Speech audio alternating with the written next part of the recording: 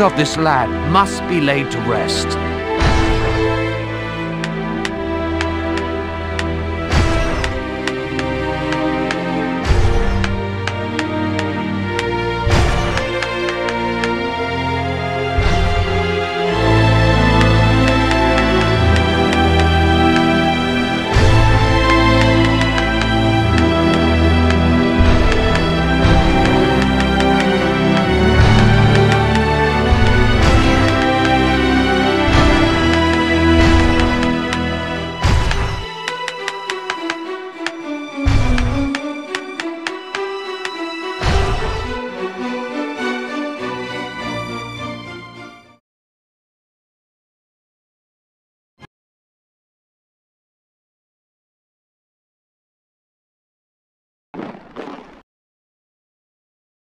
Welcome, brave soul. Your presence inspires hope in the hearts of gods and men alike. For once again, the planes of power have come under siege. You must perfect your skills with sword and lance. Battle trumpets sounded as our courageous knights stormed the plain of war. The bodies of our enemy lay scattered across the forgotten battleground. The palace of Rallos Zek drew near, but then just when victory would be ours, we were met by an unspeakable new power. Many have perished. Our armies are in disarray. Will you lend us your heart, your hand, and your sword? The deaths of thousands will be avenged by your victory. If there are potions you seek, or arrows to fill your quiver, our traders can provide them, for a modest fee, of course. When you have all that you need, you may pass through the portal behind me and into the plane of war.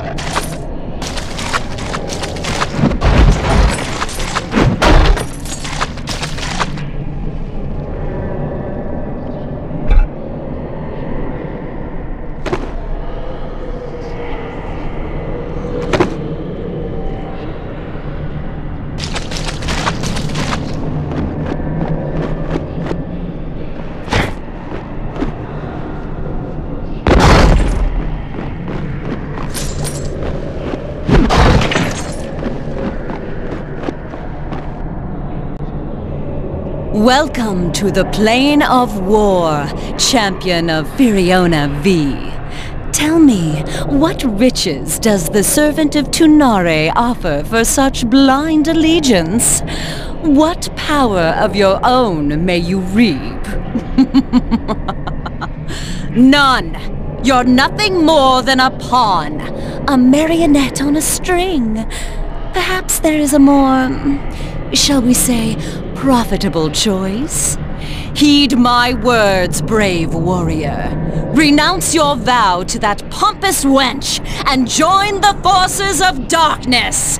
Together we shall resurrect the Prince of Hate and rule the world! The forces of light grow weaker by the hour. Soon we will overwhelm them. Your only chance for victory is to fight alongside us. Too bad you will not live long enough to regret your foolish choice. The Forgotten Battleground is calling you.